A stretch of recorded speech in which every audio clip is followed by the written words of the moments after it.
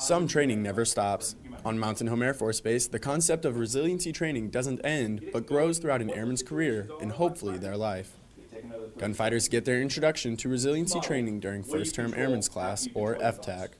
During the class, instructors teach airmen how to identify and react to stressful situations. 366 Fighter Wing Resiliency Instructor Senior Master Sergeant Andy Rogers says we can always control our thoughts.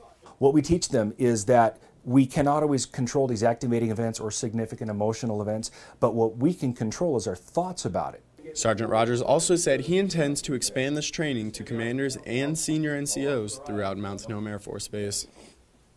More resiliency information can be found on the Gunfighter homepage at mountainhome.af.mil. Reporting from Mountain Home Air Force Base, Idaho, I'm Airman First Class Jacob Combs.